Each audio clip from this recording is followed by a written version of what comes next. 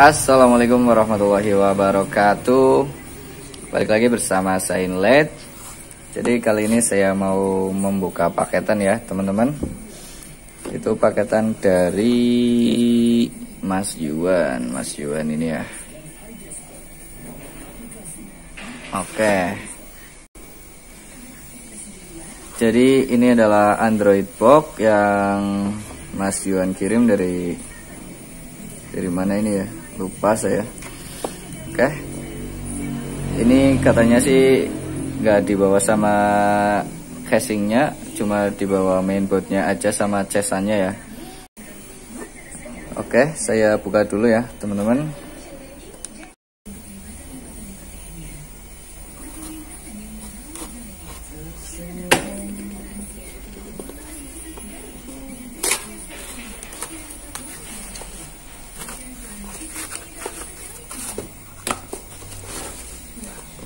Nah ini ya.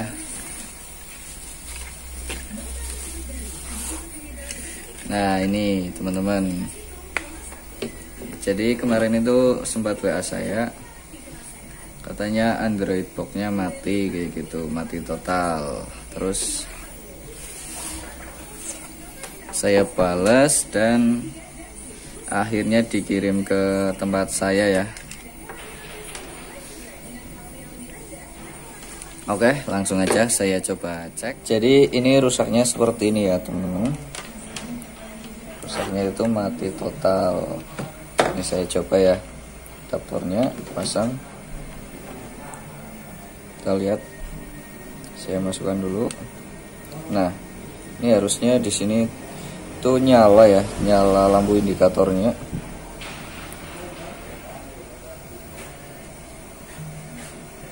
Tapi ini sama sekali nggak nyala ya ini ya lampu indikatornya. Jadi apanya yang rusak ya teman-teman? Kita mulai dari chargernya dulu.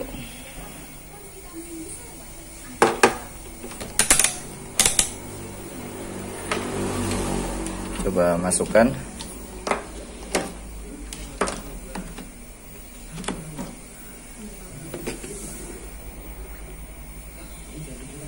nah ini ya kita cek dulu.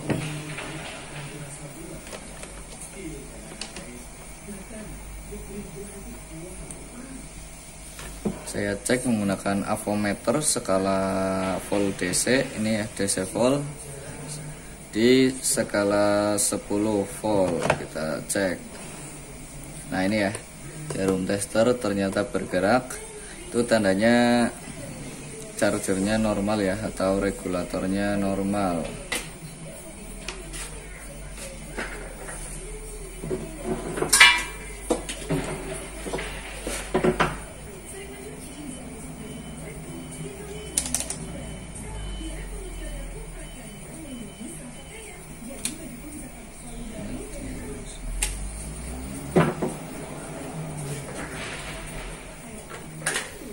Oke, sekarang kita coba amati dulu ya teman-teman. Biasanya itu ada yang mencurigakan ya. Kita amati aja.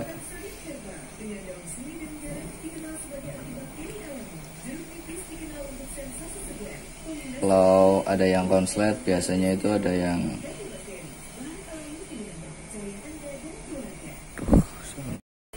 saya coba amati bagian atasnya ya. Ini sepertinya nggak ada yang mencurigakan. Nggak ada yang terbakar juga ya. Terus kita lanjut bagian bawah. Bagian bawahnya ini masih aman.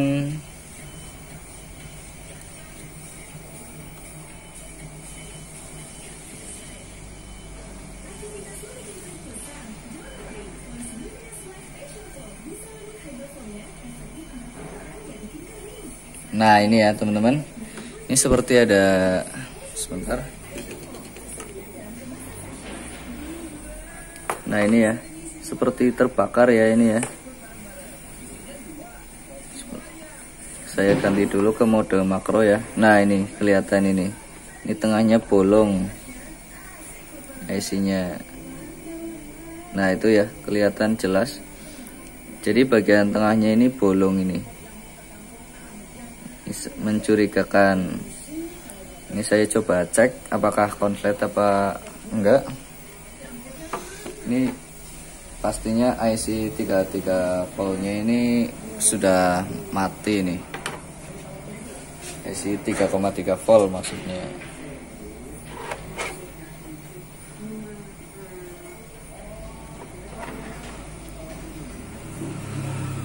Nah yang ini ya.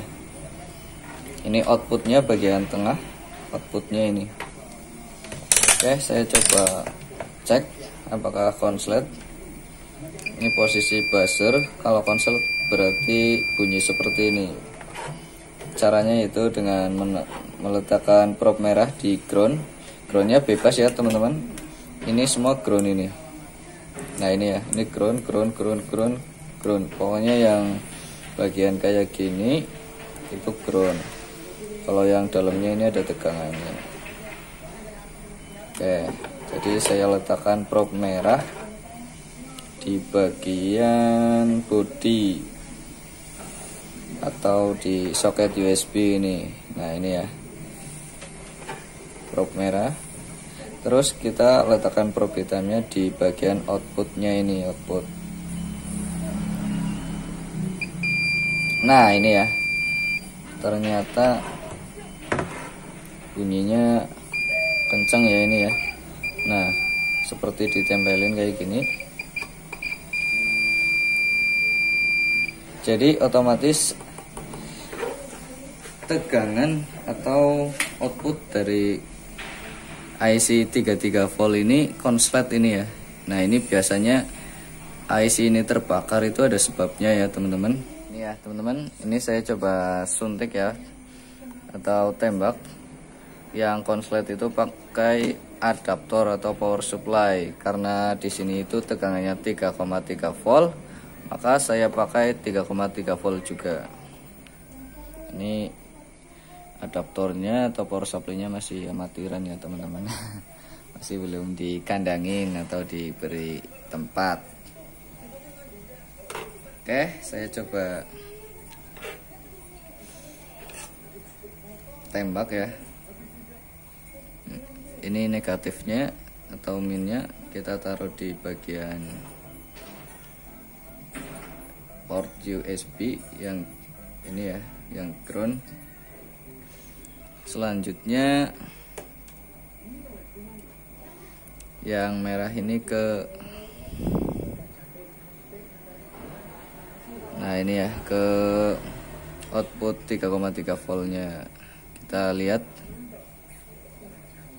Nah itu ya teman-teman.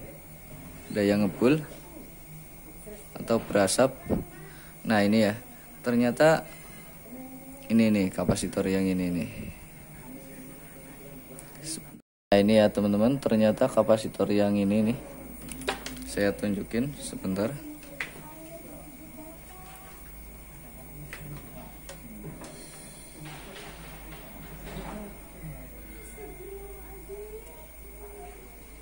Bentar ya. Nah, ini ya. Nah, yang ini ini teman-teman. Ini short. Tadi yang keluar asap ini ya. Oke, jadi sudah ketahuan ya penyebab konsletnya atau rusaknya IC 3,3 volt ini itu karena ini ya kapasitornya konslet. Jadi yang rusak ini dua. IC ini dan kapasitornya saya coba lepas dulu IC nya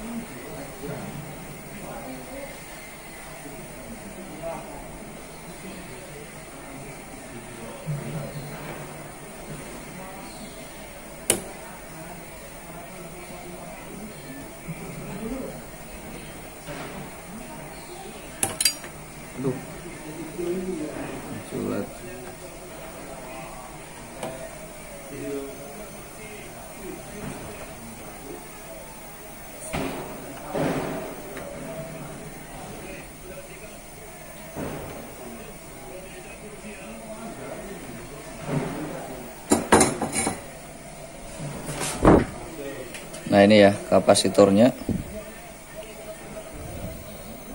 Nah ini. Oke saya coba cari dulu yang rusak tadi ya sama nih. Nah ini. IC 3,3 voltnya.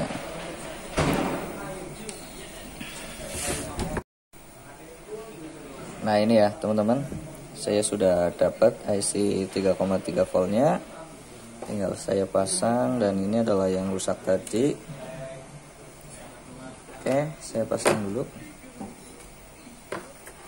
Nah ini ya kapasitornya pun saya sudah dapat. Saya pasang kapasitornya dulu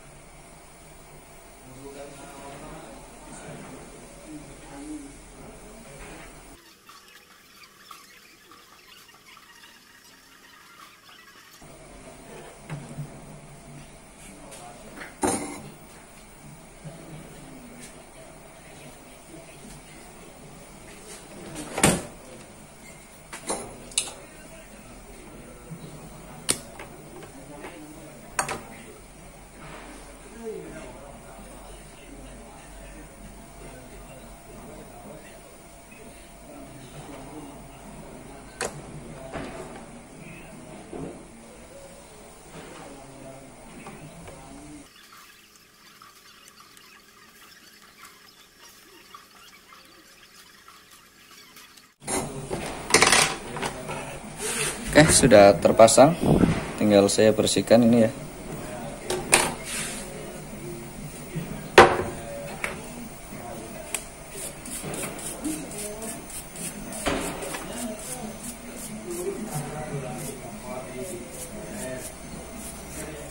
Ini ya saya coba dulu. Mudah-mudahan langsung berhasil. Saya colokin kita lihat Nah ini ya teman-teman sudah menyala.